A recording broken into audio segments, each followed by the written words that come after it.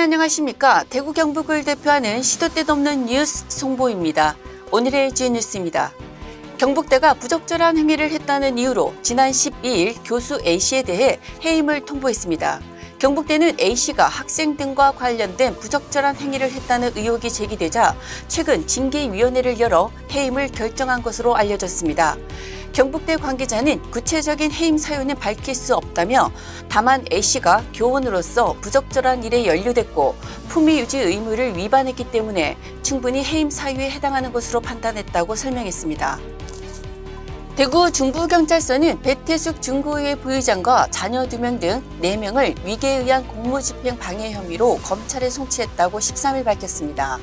홍보물 제작업체 대표였던 배 부의장은 지난 2022년 지방선거 당선 후 관공서 등과 소유계약 체결이 제한되자 차명으로 회사를 차렸습니다.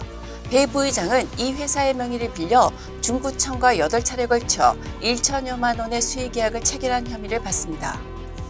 국내 주식에 대한 공매도 금지 조치가 내년 3월 30일까지 연장됩니다. 정부와 국민의힘은 13일 국회에서 당정 협의회를 열어 공매도 제도 개선 방안을 확정했습니다. 현재 개인 투자자에게 불리한 거래 여건을 개선하고 불법 공매도에 대한 처벌도 강화한 뒤 공매도를 재개한다는 입장입니다. 금융위원회도 공매도 금지 조치를 내년 3월까지 연장하는 안을 의결했습니다. 개명대는 13일 법인 이사회를 열어 신일희 현 총장을 13대 총장으로 선임했습니다. 신 총장은 다음 달 6일 차기 총장으로 취임해 10번째 임기에 들어갑니다. 신일희 총장은 개명대가 1978년 종합대학으로 승격된 뒤 초대 총장에 취임해 4대부터 7대, 9대부터 12대 총장을 역임했습니다.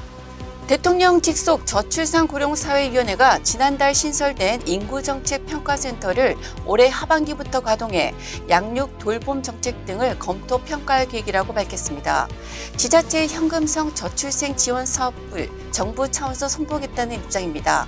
아이를 낳을 때마다 지자체가 일정 금액을 지급하는 출산 지원금이 출산율을 끌어올리는 효과가 미미하다는 지적이 그동안 잇따랐습니다.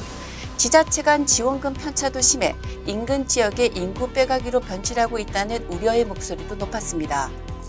경북이 찾아내고 만들어낸 봉화 K 베트남 벨리 조성 사업이 국가 차원의 문화교육 협력 사업으로 본격 추진됩니다.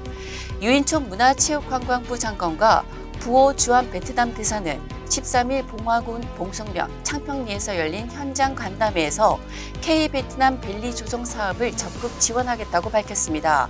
봉화에는 국내에서 유일하게 베트남 리앙조 후선의 유적지인 충효당, 유협이 제실이 남아있고 직계 가족들도 현재 살고 있습니다.